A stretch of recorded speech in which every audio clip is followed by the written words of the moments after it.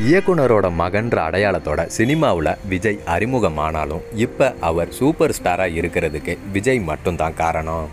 ஆரம்ப காலங்களில் தன்னோட தந்தை இயக்கத்தில் நடித்தாலும் காலம் போக போக விஜய் மற்ற இயக்குனர்களோட படத்துலையும் நடித்தார் அப்படி ஃபாசிலோட காதலுக்கு மரியாதை விக்ரமனுடைய பூவே உனக்காகன்னு அவர் நடித்த படங்கள் அவருக்கு சாக்லேட் பாய் போன்ற இமேஜை உருவாக்கி கொடுத்துச்சு. ஒரு கட்டத்துக்கு அப்புறம் கமர்ஷியல் ஹீரோவாக ஆகணும். அப்படின்ற விஜயோட எண்ணத்தை நிறைவேற்றின திரைப்படம் தான் திருமலை. ரமணா இயக்குன இந்த படத்தில் விஜயோட கெட்டப்பும் அவரோட நடிப்பும் கமர்ஷியல் எலிமெண்ட்டுக்குள்ளே போய் சேர்த்துச்சு. மேலும் திருமலை படத்தில் விஜயோட நடிப்பை பார்த்த அவரோட ரசிகர்கள் விஜயோட அடுத்த கட்ட நகர்வை அப்படியே ஏற்றி விட்டுட்டாங்க. அதை தொடர்ந்து விஜயை வச்சு ஆதி படத்தை இயக்குனார் ரமணா. ஆனால் அந்த படம் எதிர்பார்த்த வெற்றியை பெறலைன்னு தான் சொல்லணும். திருமலை படத்தோட இயக்குனர் ரமணா விஜயோட தன்னோட அனுபவம் பற்றியும் தனது திரைப்பயணம் பற்றியும் தனியார் ஊடகம் ஒன்றுக்கு பேட்டி அளிச்சிருக்காரு. அந்த பேட்டியில் அவர் என்ன சொல்லியிருக்காருன்னா ஒரு நாள் நைட்டு எனக்கு விஜய் ஃபோன் பண்ணார். நான் அப்போ போதையில் இருந்தேன்.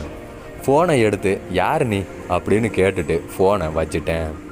வேற யாராவதா இருந்திருந்தா நான் பேசின தோனிக்கு மறுபடியும் ஃபோன் பண்ணி இருக்கவே மாட்டாங்க.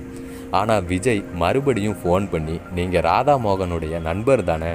நான் நடிகர் விஜய் பேசுகிறேன்னாரு ஐயோ மன்னிச்சிடுங்க அப்படின்னு சொன்னேன். அதெல்லாம் ஒன்றும் இல்லைன்னா நாளைக்கு உங்ககிட்ட கதை கேட்கலான்னு நினச்சேன். இப்போ இருக்க நிலமையை பார்த்தா நாளைக்கு காலையில் ஏழரை மணிக்கு நீங்கள் வர முடியுமா? அப்படி இல்லைன்னா இன்னொரு நாள் பார்க்கலான்னு சொன்னார். இல்லை சார் நான் வந்துடுறேன்னு சொல்லி போயிட்டேன். விஜயோட அந்த தொலைபேசிக்கு அப்புறம் என்னோட வாழ்க்கையே திசை மாறிடுச்சு. திருமலை கதையை ரெண்டரை மணி நேரமாக சொன்னேன். அதுக்கப்புறம் கவிதாலயா நிறுவன தயாரிப்பில் விஜய் நடிக்கிற திருமலை படத்தோட இயக்குனர்னு நான் அறிவிக்கப்பட்டேன்.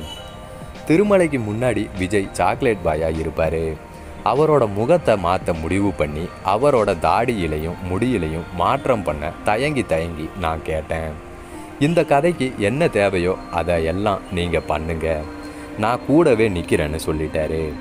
நான் எவ்வளவு மாற்ற முடிவு பண்ணாலும் அதை விஜய் தான் அடுத்த கட்டத்துக்கு எடுத்துகிட்டு போவாருன்னு ரமணா சொல்லியிருந்தாரு.